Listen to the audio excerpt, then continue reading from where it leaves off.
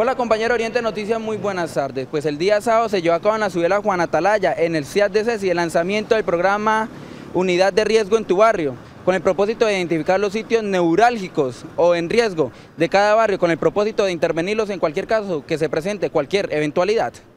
Este programa consiste en crear los comités barriales para cada uno de los sectores de Cúcuta y gestión del riesgo certificará a cada una de las personas que van a integrar este comité barrial para que sean las primeras personas que atiendan la emergencia en un momento de que vaya a pasar cualquier tipo de emergencia, ellos estén preparados.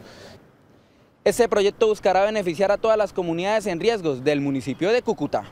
Pues la iniciativa nace de la misma, de la misma oficina en la cual nosotros hemos tenido bastantes inconvenientes por, por atender a todas las necesidades de todos los sectores, son muchas las necesidades, hay muchos sitios en riesgo y mucha gente nos escribe, pues entonces yo les pido a ellos que vamos a empezar a salir, no solamente en la 8, vamos a empezar a las 7, a las 6, a las 5, a las 4 y después trataremos de llegar a cada uno de los barrios.